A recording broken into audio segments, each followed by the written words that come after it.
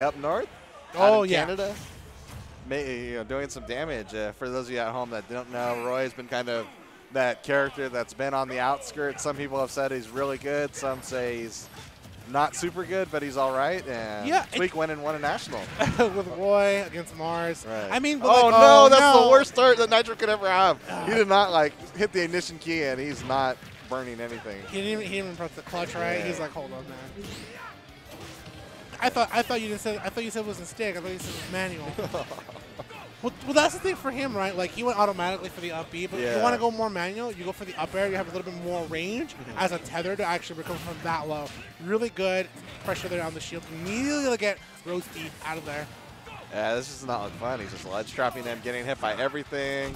This Especially hurts. with Roy's recovery, you know, Yeah. the, the fire sword blazes, you know, it's it's goes to the ledge, but it's right there where that axe likes to come running through. Then you got mixing holy water, and it's just not It- a it's kind of like an ingredient.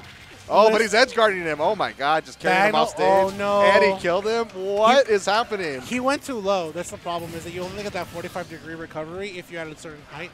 At one point, you will be too low to unfortunately reach that. It's like that that uh that little nursery rhyme with like roast beef and the piggy that went wee wee all the way home. He took him all the way home to the blast zone.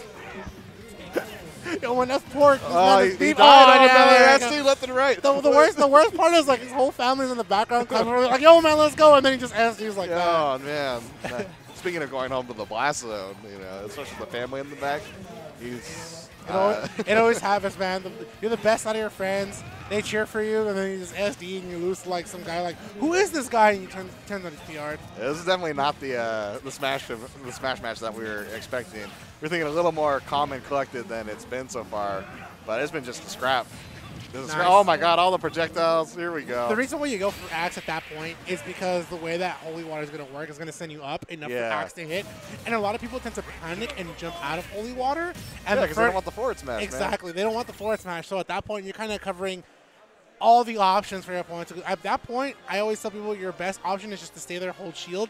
If you have a healthy shield, which you do at that point from the ledge, you will be more than fine, and then go ahead and pursue. I feel like if I just held shield in that situation, I'm gonna die at a forward smash. I'm not Yeah. gonna lie to you. you can parry. You can parry. Your shield, your shield health is usually fine around Uh-huh. that around that time. Like I said, you can parry, but that's why I tell people like parrying is kind of the wave now. That's why they like nerfed how shields are a little bit in terms of strength and projectiles in general. They they really did an emphasis on putting parries like on the next level. And here we go, opening up game two. Let's see if it goes a little bit better for both the players. Oh yeah. You, you know, especially in these tournaments, you want both these players to relax, if you will, and play, well. play their best game. Yeah. And I think both players would agree that they did not play their best matches the last game. High pressure here. I like it. At this point, roast beef kind of has to respect each time that he sees Nitro going to back off and deal a little bit of pressure because you can't just approach. At that point, you're going to give Nitro a little bit of a whip punch. Yeah, if, it, if they pull a Lux and just run into all the projectiles, then you end up off stage like this situation. No, man, they pull low. Oh, there's a forward Oh. smash. Oh my god. That's the problem. You you get up like that. You could have jumped get up. That was the Lux. You run into a projectile and get forward smash. Nah. I, I thought the Lux is you believe in ices, and then they go like, oh man. How do you, how many projectiles do you think I ran into and they got forward smash for it? Let me tell you a lot. Oh my god, he's throwing holy water, it's covering the ledge, Yep. and he's forward smashing, and this is not going well for He let- roast beef. I feel like cooked. he let go of the legend and he panicked. That's what ended up happening. And he's playing, he's going off, he's feeling comfortable. That's what you know, and he's feeling himself. Richter is going off stage, the edge guard. He's trying to get him Oh. a little revenge from the last game. He almost got the forward air too. That's what kind of set himself there. Axe. Here's the setup. Wait for it. Down air. Great parry here. Yeah, good parry to get the advantage, but didn't get any punishment out of it, really. It was unfortunate. Maybe just uh, a trade of that down air, right? Just Mhm. bounce off and go too far away. Ooh. Here we go. He's got him edge guarded, and he had a little bit of an advantage state, wasn't able to capitalize, and it's right back to the hell from where he came. And there's the forward smash. Takes that stock, and Nitro, true to his name, is just burning through. Yeah, at this point, he's getting punished right out there. It's like he's got the nos going right now. He's running away with this match, unfortunately. That's the hard part. Sometimes people just get this mental block against characters with projectiles. That's why you see a lot of the, the salt on the internet. You know, oh, that might, the guy just camped me, you know. Yeah. Um, and, and it's kind of something that exists across the entire community. It's difficult to deal with. It's also your uh, ability to understand like how you can approach. Like you have great movement with Roy, so you can definitely use that movement and move movement in and out. We did see Rose a little bit come in, run up with shield. Yeah. Like, solid option for him to actually work it out.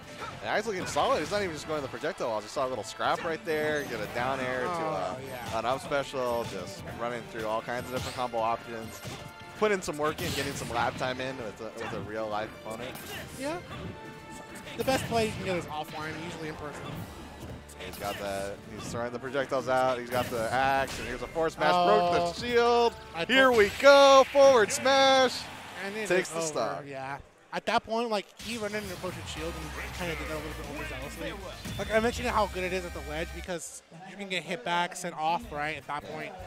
But in the middle of the stage, when your opponent has you conditioned in that sense, like it's not your best option. That's kind of like the last thing you want to be careful for. Is you only want to focus on a parry Yeah. or moving in and out and using Roy's ability to just dash well and have one of the best run speeds in the game too as well. Yeah, but Vance, I thought pro- projectiles are supposed to lose the shields, man. What